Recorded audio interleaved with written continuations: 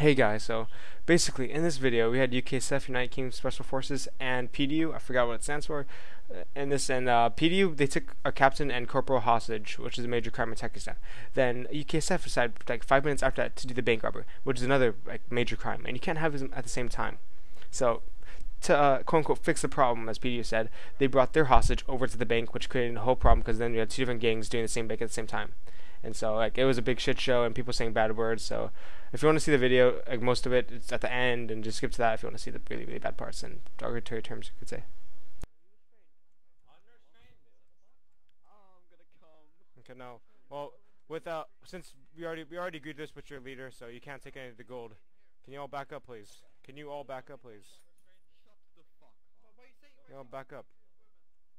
Can you all back up please we're trying to deal with two situations right now. It's really annoying. All, if we all get closer, it's not gonna help anybody. Hey Sven. Hey Sven. This guy has gold on him. What should I do with him?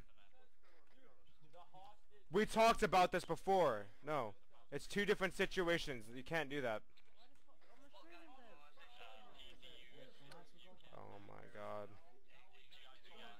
I can't hear anything. I can't hear anything. Uh, Sven.